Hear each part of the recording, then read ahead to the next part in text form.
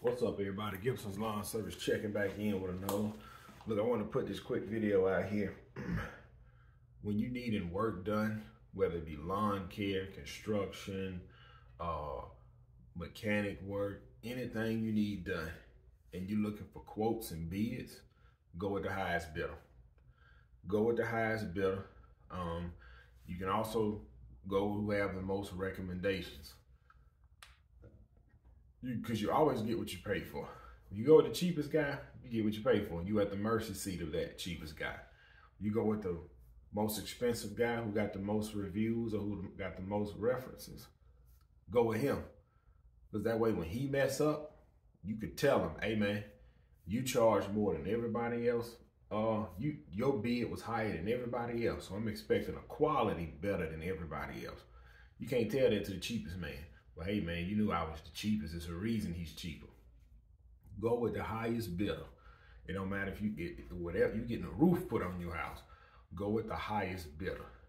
Like if you if you need a heart transplant, you're not gonna go with the cheapest doctor. You're gonna go with the most expensive and who got the most better reviews because you want your uh, chance to live at a higher rate than that cheaper guy. And that's something I learned over these past couple years. Um, trying to get work done for a little cheaper price always bites me. I currently have a project going on. It's been going on for nine months. I got a project been going on for nine months. Um, I'm not gonna say I went with the cheapest guy. I didn't know anything about it, and uh, I've seen this guy work, so I said, hey, I'll roll with him.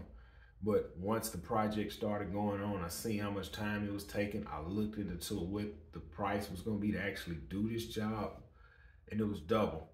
Uh, and I reached out to a guy that charges double. I said, look, if he don't finish, I'm gonna pay you whatever you want to finish.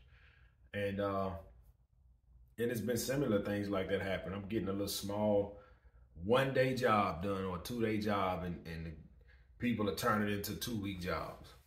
So you ever need work done, whether it be on your equipment, on your truck, on your trailer, dental work, home repairs, go who have the highest bid.